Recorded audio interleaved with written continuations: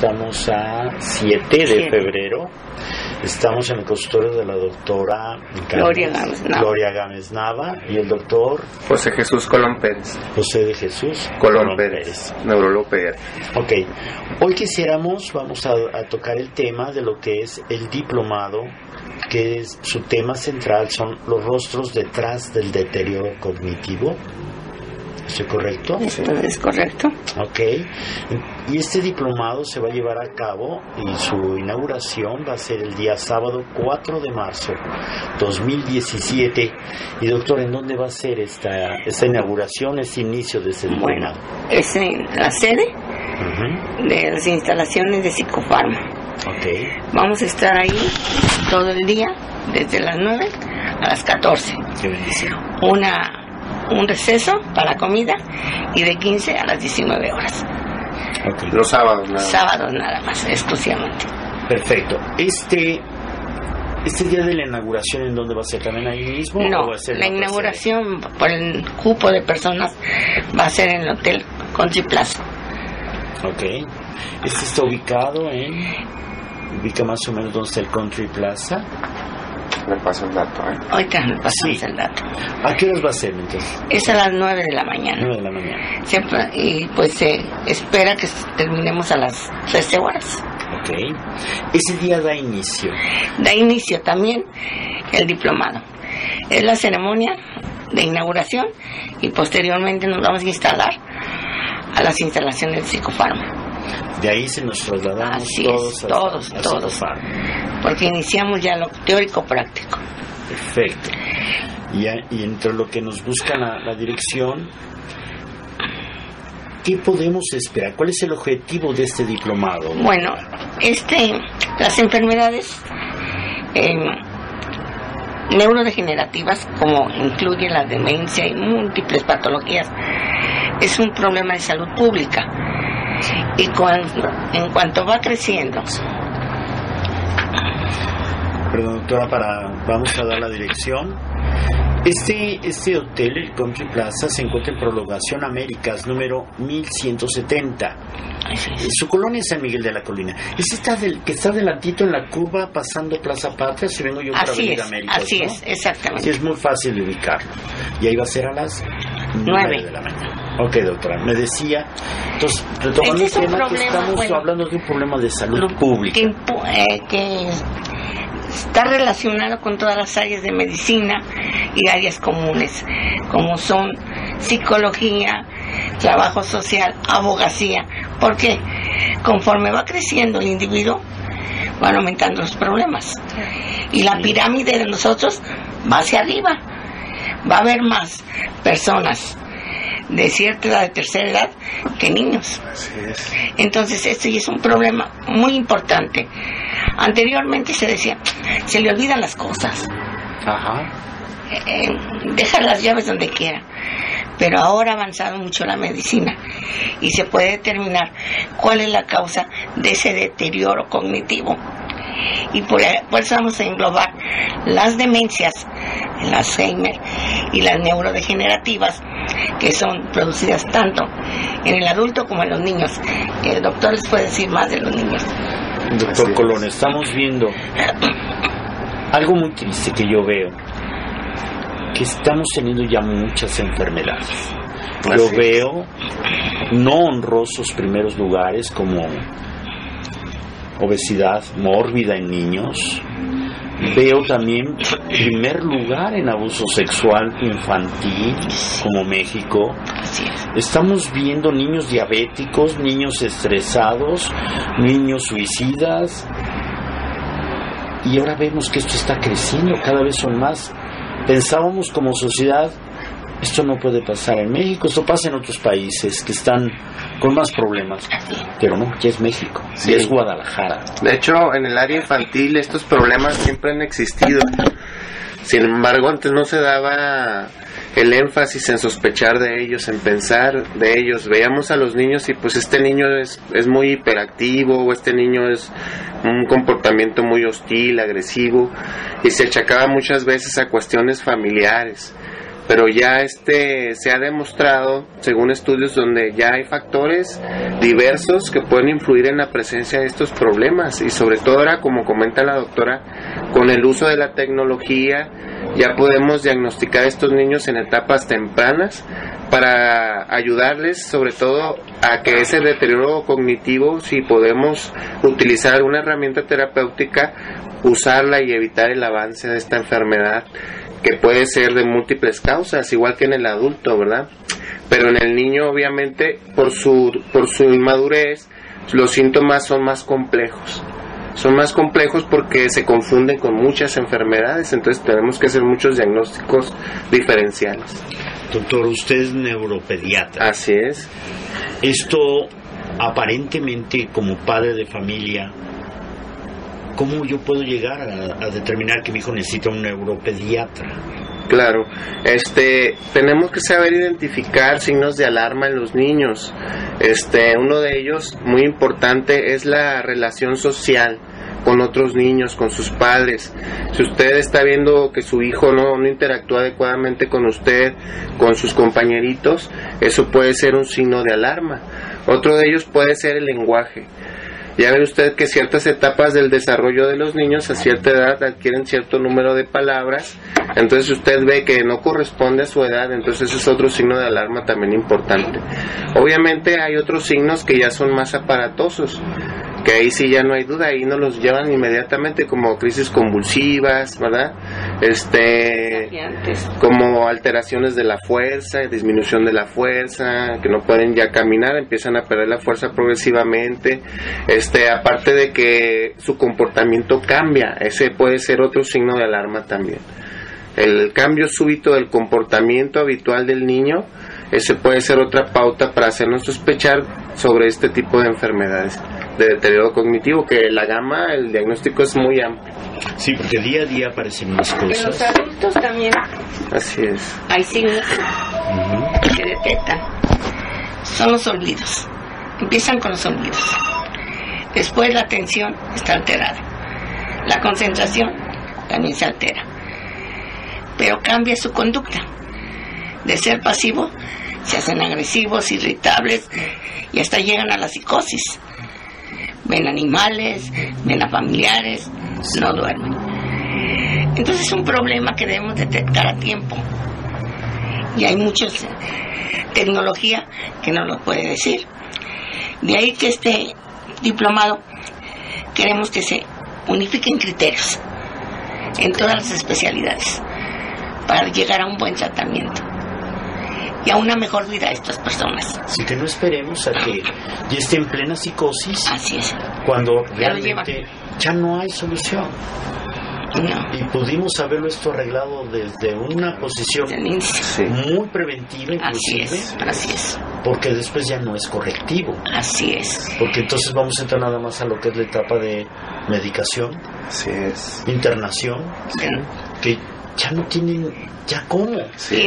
como usted lo dice, este es un problema de salud pública, cada vez hay más. Lo que estamos fomentando es la prevención, sobre todo con el diplomado, es bien importante. En el área infantil, pues con nosotros es bien importante detectarlo lo más precozmente. ¿Por qué? Porque van a ser los adultos del futuro. Entonces, entre más pronto los detectemos, y la buena noticia es que muchos de estos padecimientos neurodegenerativos tienen tratamiento, si no es curativo, es un tratamiento que detiene la evolución de la enfermedad, brindándoles una mejor calidad de vida. Y sobre todo no nada más a ellos, sino a los cuidadores. Así es, porque también. Siempre hemos pensado en el, cuidador, en el paciente, pero el cuidador, y ese, también se va junto con él. Y el padre, el padre es una persona que sufre mucho cuando tiene hijos o familiares con, con problemas neurodegenerativos, se involucra toda la familia. Entonces, aquí el manejo que vamos a enfocar en este diplomado va a ser integral, tanto del paciente como del cuidador y como del médico que, en diversas áreas de la medicina les está brindando una atención especializada. Y se van a revisar muchas patologías que causan la demencia. Bastantes patologías. ¿Podríamos dar un ejemplo? Vamos a suponer un ejemplo de esto, por la hipoxia neonatal Ujú. en la Corea de Huntington, el Parkinson, son muchos El ejemplos. hipotiroidismo, hipotiroidismo. Acá estaba leyendo yo ahorita un, un artículo, porque iba a determinar en caso de una ataxia cerebelosa, también da demencia. Sí, claro, la esclerosis múltiple, este, Esclerosis. que es una enfermedad muy común del adulto, también se identifica en los niños, aunque es menos frecuente, también este puede presentar grave deterioro y causar una enfermedad crónico-degenerativa, inclusive hasta una demencia. Una demencia. Así es. El. Parkinson es uno de... Sí. Estoy sin palabras porque estamos hablando de entonces que hay que romper paradigmas. ¿Por qué? Exacto. Porque estoy viendo si... Ah, es que tiene nada más Parkinson. Y yo nada más pienso. Ah, nada más mueve las manos. Sí. No, No hay, No. no hay que encasillar. O una esclerosis. Claro. Sí, lo va a dejar inmóvil y va a quedar ahí en una silla de ruedas. No. Entonces, estamos hablando va más allá. que esto Más está allá. yendo más allá ante el descubrimiento y el conocimiento. Como dice el título de nuestro diplomado, va más allá de los rostros del deterioro cognitivo. O sea, esto los es algo muy complejo. medicamentos, los medicamentos, los psicotrópicos, Así los es. en demencia. Hasta el mismo manejo terapéutico, si no se hace de una manera adecuada, puede perjudicar a los niños Así es. sin tener las bases para poder aplicar la, este- esta, esta manejo. estrategia, este Por manejo. ejemplo, yo observo al anciano. El anciano de- dentro de toda esta forma de vida que tuvo, y ya pasaron 70, 80 años, casi la sociedad decimos, ay, es que ya está viejito, No. ya se volvió terco.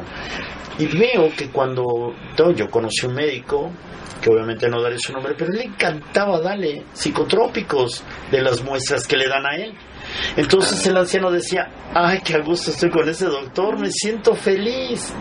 Pero estamos viendo que el futuro no está, no está solucionando el Sí, porque hay problema. alteraciones Así es. bioquímicas que lo que vamos a, Así es. a- Lo que queremos con este diplomado es eh, poder eh, sensibilizar a toda la población y a todo el personal de salud y personas involucradas para que se concienticen y no ver nada más este la, la punta del iceberg, sino ver todo el trasfondo que hay sobre esto y poder enriquecerse de ese conocimiento que se necesita para el manejo adecuado de los pacientes, tanto niños como adultos. Pues bastante. Es la Es un gran reto, doctora y doctor, ¿no? Así hay es. que un romper No, pues es un gran reto es. esto. Para esto van a participar 72 especialistas Sí. Y en sigue este diplomado y son personas altamente reconocidas, tanto de neurología como adulto como como de otras áreas de la medicina, también desde neonatólogos, radiología, desde el recién todos. nacido, Sí, sí. hasta el geriatra, ¿verdad? El que tiene ya el paciente adulto mayor. hasta el estomatólogo, Hasta el estomatólogo. internistas, todos, todos. los cardiólogos. Sí, así es, neumólogos, Todos. todo, todo, todo. Tratamos de, de invitar a todo ese personal de salud también para que se haga una concientización no nada más en el familiar y en el cuidador, sino en todo el personal de el salud, ámbito. porque en cier- si todo el ámbito médico y de salud, tanto psicólogas, enfermeras, también invitamos enfermeras, ¿por qué? Porque todo el mundo tenemos que estar concientizados, todo el mundo, el padre y todo, todo, todo el que tenga contacto Y con estos también el maestro lo invitamos. A los Si yo soy padre de familia, puedo asistir. Sí, claro. Vamos, a lo mejor Claro. soy arquitecto. No, no, Claro. no puede asistir. Claro. Es importante que asista. Va a asistir también un maestro. Sí, No, pues es que es importante. Lo que queremos es difundir y prevenir. Esa es la finalidad. así es. Un gran reto, doctora. Ha sido un reto. Este es un reto. Sí, sí, ha habido Tenemos mucho trabajo trabajando en esto. Ocho meses con esto. Sí, Un reto. Y todavía seguimos, ¿eh? Y ahorita todavía seguimos. No, ya te más acerca la fecha. No, y ya estamos sintiendo ahorita un poquito de depresión, pero pues esto va a tener que estar, quedar bien, ¿verdad? Porque pues es un objetivo, un propósito pues muy bueno, ¿no? Para todos los niños y adultos. Ustedes son los que están dando el rostro a este diplomado. Así es. Pero ¿qué instituciones están involucradas? Las instituciones es la, la Comejal, la Camejal, está la Derechos Humanos, está sobre todo Profesiones del Estado, el IMSS. Psiquiatría, y. Neurología y Geriatría también, Todos los colegios. todos los colegios. La mayor parte. La mayor parte. La mayor parte. Sí, que también sepan que de- detrás de todos estos grandes colegios Pero están las universidades. Pero el colegio principal es el colegio de neurólogos. Sí, así es. Que se De hecho, pues la doctora Gámez, ella es la pionera en esto, ahorita es nuestra presidenta y ella pues este ha tenido pues una actitud muy entusiasta para promover el desarrollo de programas y de diplomados para concientizar a toda la población. Sí, porque algo difícil en este mundo, y principalmente este mundo actual que estamos teniendo, donde pareciera que la palabra egoísmo es la que va a prevalecer, pero ahí existen personas que ustedes están compartiendo su conocimiento, su sabiduría para en beneficio de toda una gran comunidad. Claro. A final de cuentas, el Es- beneficiado claro. es, es la comunidad. Sí, por supuesto, ya que aquí esta situación a todos nos puede afectar. Realmente todos tenemos familias, Todo- todos, uno mismo. todos uno mismo. Uno mismo. A uno mismo le puede suceder. Entonces, es una situación que es importante porque el día de mañana quizás a lo mejor yo necesite una atención de una persona y que mejor sea alguien bien capacitado Claro. para que yo pueda tener una buena calidad de vida en lo futuro, ¿verdad? Así es. Sí, porque a veces es muy fácil y muy temerario los diagnósticos que se llegan a dar. sí es. Y lamentablemente la, de la falta de un conocimiento actual, porque no lo dudo que sepan, porque claro que son expertos y claro que sí saben, pero actualizados muchos no se encuentran. No es lo que, Ese ya es se el- quedaron en ese no es lo que conformismo, ¿no? pretendemos. Ese es el compromiso de nuestro colegio, precedido por la doctora Gámez, que se fomente la actualización de, de todo el personal y personas que quieran este, aprender sobre esta situación. Sí, porque yo leía también el otro día en la ONU, en su agenda que tiene, un tema muy interesante que ellos ven ahorita es el anciano. ¿Por qué? Porque el mundo se está volviendo de gentes ancianas. Sí. Hoy vivimos más. Sí, ¿Por claro. qué? Porque el, el desarrollo de los medicamentos, el desarrollo Así de la es. tecnología nos hace vivir más. Nuestra esperanza de Pero vida también aumenta. es bien cierto que estamos más enfermos. Sí, sí, claro. Entre más vivimos, pues obviamente que se van a detectar Más, más situaciones que antes pues no se veían porque pues fallecían antes. Ahora ya son 75 años la esperanza de vida. Así es. Tengo entendido, entonces antes pues de 50, 60 años pues la gente fallecía comúnmente y ahora no, ahora ya se empiezan a ver otro tipo de enfermedades porque ya este tenemos más tiempo, entonces se van a descubrir más cosas todavía más. Si yo leía. Sobre todo estas enfermedades las degenerativas. Sí, porque por ejemplo, yo soy padre de un hijo con discapacidad intelectual. Ya nació así, ya lo tengo. Y entonces yo ahora yo me enfrento también a un problema mental. así Claro. es. Porque vivo el manejo de la emoción. Claro. Así Y es. esa emoción me va a desgastar Claro. y me va a hacer sentirme triste o enojado o preocupado. Y, y lo peor, que día a día yo empiezo a ver el deterioro de mi hijo, entonces se pone peor. Claro, por supuesto. Aquí la importancia es la educación, fomentar la educación para poder tener estrategias como comenta la doctora Gámez, poder unificar criterios y poder este dar una atención pues de calidad y adecuada. Y ayudar tanto Y ayudar a todo el que se pueda, ¿verdad? Los familiares. Sí, sí, Es que es ayudar, un todo. ayudar el todo integral. Somos un todo. es. Somos un todo. ¿Verdad que sí? El ser humano es un todo. ¿eh? Promover. No vivimos aislados. No. No somos islas. No, No, no. Somos un gran continente Así que debe es. estar unido. Así Es una integración. Así, Así es. Y si algo falla, pues todos somos afectados. Todos somos afectados. Tenemos que tener un equilibrio del medio tenemos- interno y el medio Tenemos que estar Sí. equilibrados. Así. Así es. Sí, tiene que haber armonía. Ya no es saber qué puede hacer el gobierno No, o no, qué no. pueden hacer los papás. no, no. ¿Qué puede hacer? No, eso Somos nosotros. Sí. Tenemos que empezar. Somos pues, pues nosotros. como colegio nosotros pues estamos promoviendo estas actividades, ¿verdad? Y este y bueno, pues ya sobre la marcha pueden salir otros proyectos, pero por lo salir. pronto estamos trabajando Y este, este diplomado se lo vamos a brindar, Así a es. dedicar Así es. a una persona que ha dedicado toda su vida y su buen- buena trayectoria en neurología, que es el doctor Juan Márquez Padilla. El doctor Juan Márquez Padilla es un hombre que ha tocado muchos puestos hasta la Academia de Neurología. Yo lo reconocí y le reconozco su, su labor como, como neuróloga, porque él se quedó en mi lugar. Yo era jefe del departamento de neurología y cuando ascendí lo dejé a él y él siguió una buena trayectoria. Pues yo me dediqué a lo administrativo prácticamente Sí. y y me he enterado que tiene, su salud está un poquito delicada y que hay que reconocerlos ahorita, no cuando se mueran. Es una verdad. Ahorita. Así es. Sí. Así es. Como lo diría aquel célebre, en vida, maestro. En vida. En vida. Por eso estamos ahorita haciendo esta actividad, porque ahorita que estamos vivos, ¿verdad? Sí. Y es Así del doctor es. Juan Márquez Padilla. Así Pues es. esperemos en Dios que su salud lo permita estar presente, Ay, doctor ojalá. Márquez. Sí, Nuestras oraciones estarán presentes para que, Para que esté el él presente. esté, él esté ahí recibiendo. Sí, pues que es muy porque sería bonito. un honor. No, para nosotros, a nosotros como neurólogos, pues más honor, sobre todo. Sí, pues es que Porque somos los mismos eh, estamos. miembros que estamos reconociendo a una persona su alta calidad de, de preparación y su gran humanismo que tiene. Así Eso es. no es fácil, ¿eh? Sí. Que dentro de los mismos. Necesitamos esos ejemplos. Sí, es una, toda una trayectoria. Ok. ¿Me podemos para terminar la...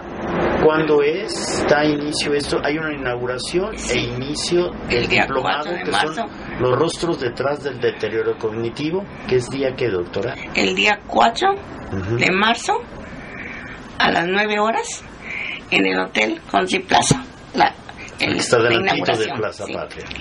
Y posteriormente nos vamos a trasladar a la sede de Psicofarma, que está ubicada en la calle de Tepaye- Tepeyac, Ujú. 900 Colonia Chapalita, Ok, está- todo está muy céntrico. Costa Céntrico. ¿Cómo Sí. podemos, doctor, este para hacer un contacto?